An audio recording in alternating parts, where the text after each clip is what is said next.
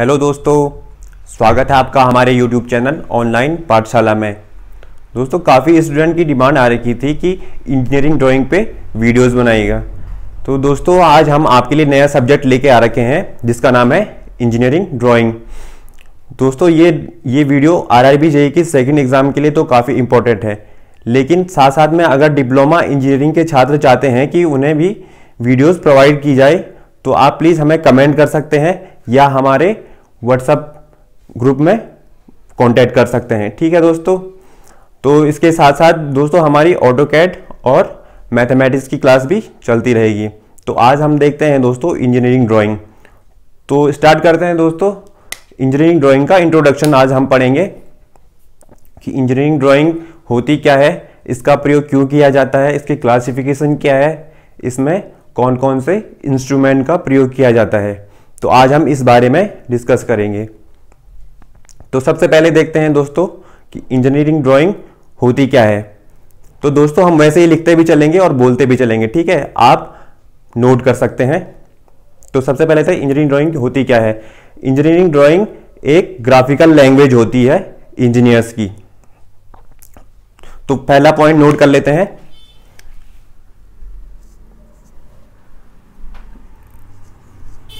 It is a graphical graphical language of engineers ठीक है दोस्तों?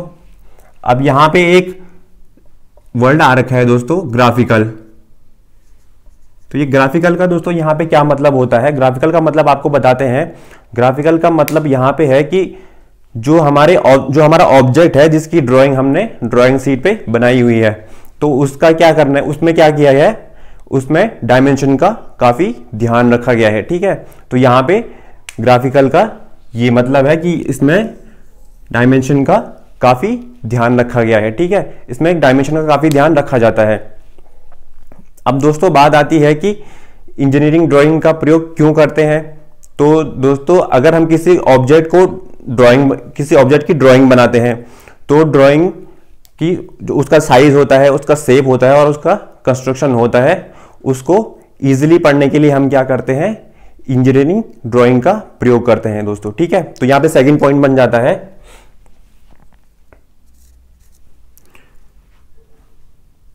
साइज़ शेप और कंस्ट्रक्शन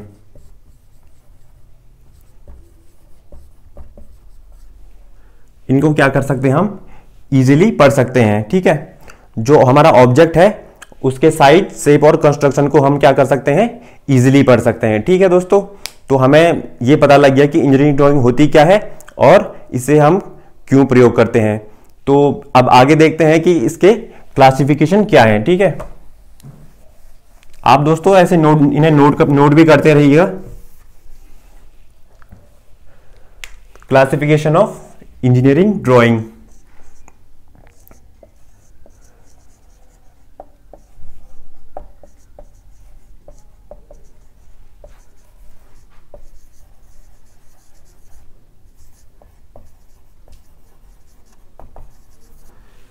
दोस्तों, पहला क्लासिफिकेशन आता है हमारे पास जियोमेट्रिकल क्लासिफिकेशन आप इसे नोट भी करते रहिएगा, ठीक है? जियोमेट्रिकल क्लासिफिकेशन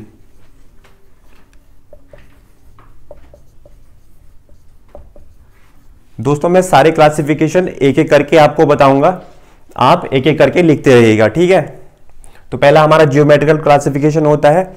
उसके अंदर भी हमारे दो क्लासिफिकेशन दो आते हैं, ठीक है दोस्तों? तो पहला आता है इसमें, इसके अंदर भी हमारे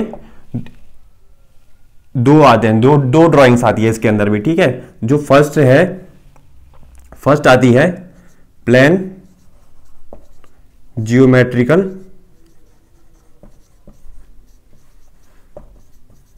plane geometrical drawing अब दोस्तों, ये प्लेन जियोमेट्रिकल ड्राइंग क्या होती है? इसमें हम क्या बनाते हैं? जो प्लेन जियोमेट्रिकल ड्राइंग होती है, जैसे इसमें कौन कौन से कौन कौन सी हम ड्राइंग बनाते हैं? जैसे आपने सुना होगा, एक पेंटागन होता है, ठीक है?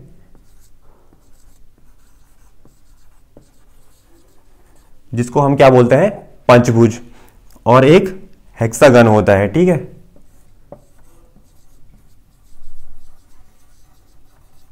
जिसे हम क्या बोलते हैं? षटभुज तो इस प्रकार की ड्राइंग को हम किसमें बनाते हैं? प्लेन जियोमेट्रिकल ड्राइंग में। उसके बाद आता है दोस्तों, इसी में जियोमेट्रिकल में दूसरा आता है सॉलिड जियोमेट्रिकल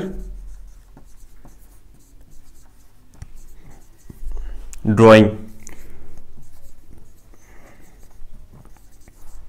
अब दोस्तों सॉलिड जियोमेट्रिकल ड्राइंग में क्या क्या आता है? हम क्या क्या बनाएँगे इसमें?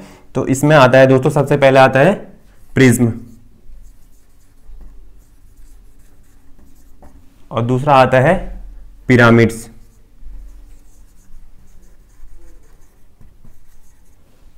दोस्तों, इसके और भी बहुत से उदाहरण होते हैं। हमने आपको एक दो लिखा रखे हैं। तो इस तरह की ड्राइंगें इसमें बनाई जाती है। जियोमेट्रिकल के अंदर दो आती हैं। ठीक है दोस्तों? इसके बाद हमारी दूसरी जो दूसरा क्लास दूसरा क्लासिफिकेशन है। दूसरा क्लासिफिकेशन आता है हमारा मैकेनिकल और मशीन ड्राइंग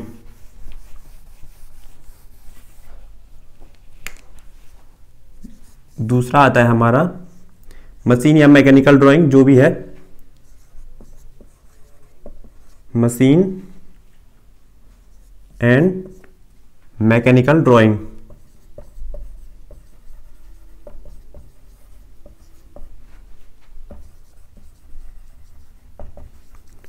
अब दोस्तों, इसके अंदर हमारे कौन कौन कौन से हमें, कौन कौन सी ड्राइंग हम इसके अंदर बनाते हैं? इसके अंदर आपने मशीन देखी होगी, कोई भी मशीन है जैसे, जो मैकेनिक मैकेनिकल यूज़ मैकेनिकल वाले या यूज़ करते हैं। मशीन हो गया, या पार्ट्स ऑफ़ मशीन हो गए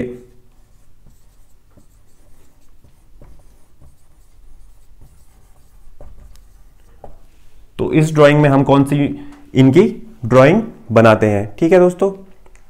उसके बाद आता है हमारा electrical drawings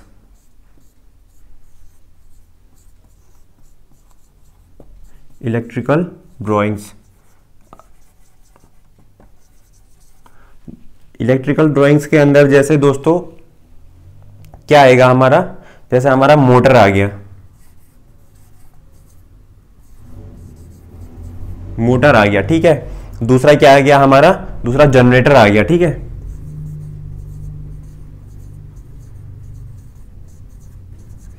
तो ये दोस्तों, ये क्या होती है हमारी? इलेक्ट्रिकल ड्राइंग अब तक हमने तीन ड्राइंग पढ़ ली है। जियोमेट्रिकल उसके अंदर हमारी दो ड्राइंग थी प्लेन और सॉलिड जियोमेट्रिकल ड्राइंग ठीक है दोस्तों? उसके उदाहरण भी हमने यहाँ पे देखे।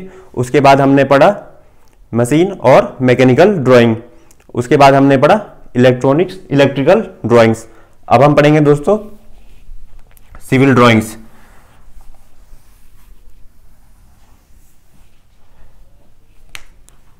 चौथा आता है दोस्तों सिविल ड्राइंग्स अब सिविल ड्राइंग्स के अंदर दोस्तों कौन कौन सी ड्राइंग्स आती है? जैसे हमारी बिल्डिंग होगी। ठीक है? और जैसे हमारी रोड होगी। ठीक है? और जैसे हमारा ब्रिज हो गया तो ये सारी हमारी किसके अंदर आती है? सिविल ड्राइंग के अंतर्गत आती है। इसमें हम इन ड्राइंगों का निर्माण करते हैं दोस्तों, ठीक है? उसके बाद हमारी एक लास्ट आती है हमारी इलेक्ट्रॉनिक्स ड्राइंग।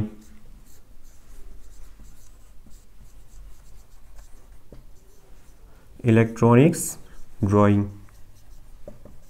अब इलेक्ट्रॉनिक्स ड्राइंग के अंतर्गत दोस्तों, क्या आएगा जैसे? जैसे इलेक्ट्रॉनिक्स में हम क्या बनाते हैं? एम्पलीफायर हो गया जैसे। एम्पलीफायर हो गया, और जैसे रेडियो रिसीवर हो गया।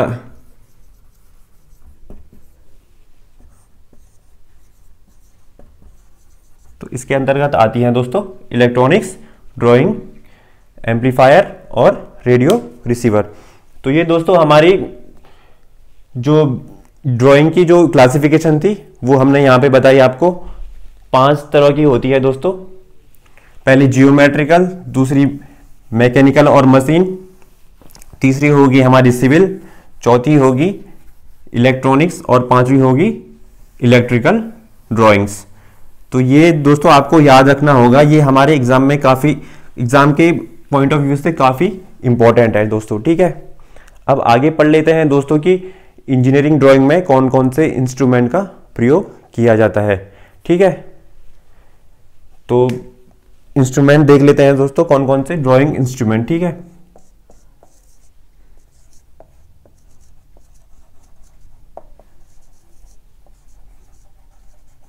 ड्राइंग इंस्ट्रूमेंट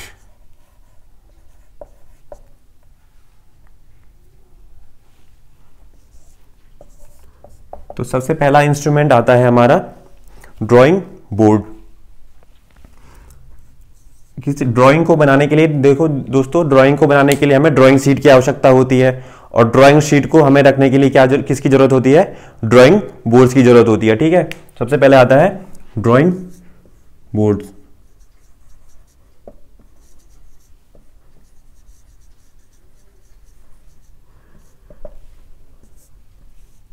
देखिए दोस्तों, जो ड्राइंग बोर्ड होता है, उसका सेप क्या होता है हमारा? इसका सेप क्या होगा? इसका शेप होता है रेक्टेंगल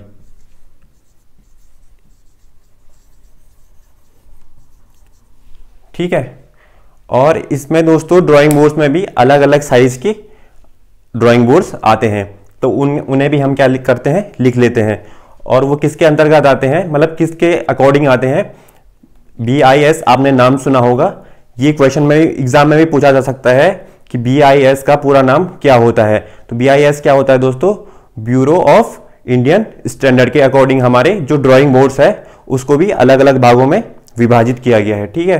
तो हम उन भागों को जानते हैं कि कौन कौन से उनके नाम हैं और कौन कौन सी उनकी मापे हैं, ठीक है?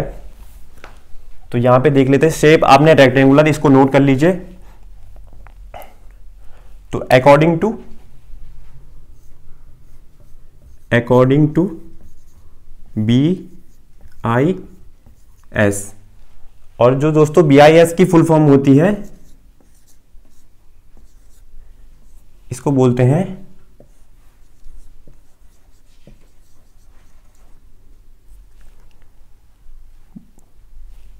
ब्यूरो ऑफ़ इंडियन स्टैंडर्ड ठीक है दोस्तों, आप ये फुल फॉर्म याद कर लीजिएगा क्योंकि ये काफ़ी इंपॉर्टेंट है हमारे एग्ज़ाम के टॉप पॉइंट ऑफ़ व्यू से। ठीक है दोस्तों, अब इसके अंतर्गत कौन कौन सी हमारी ड्राइंग बोर्ड्स आते हैं? फ़र्स्ट आता है फ़र्स्ट आता है हमारा antiquarian size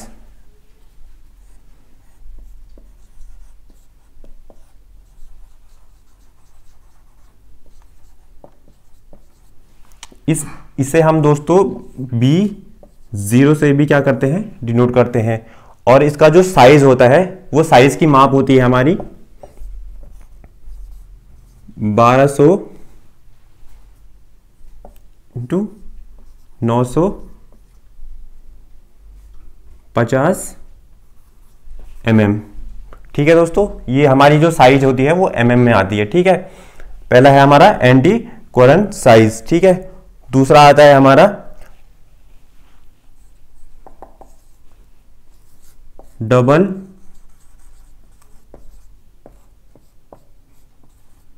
elephant size.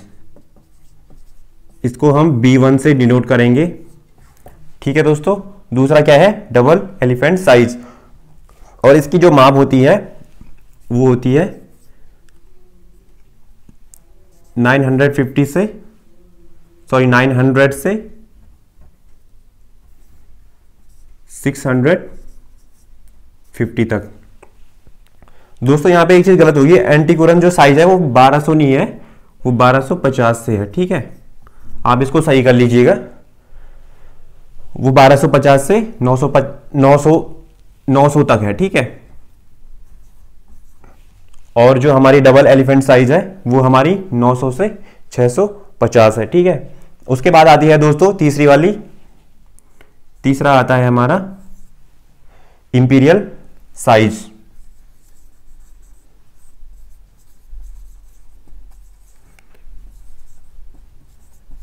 Imperial size होता है जो ड्राइंग बोर्ड का, उसे हम B2 से डिनोट करते हैं। ठीक है दोस्तों? और उसकी जो, उसका जो, उसकी जो माप होती है वो होती है 650 से 500 सौ mm दोस्तों, ये सारी एम mm में आएँगी, ठीक है?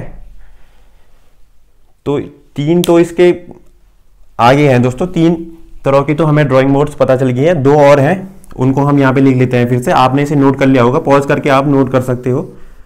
ठीक है दोस्तों?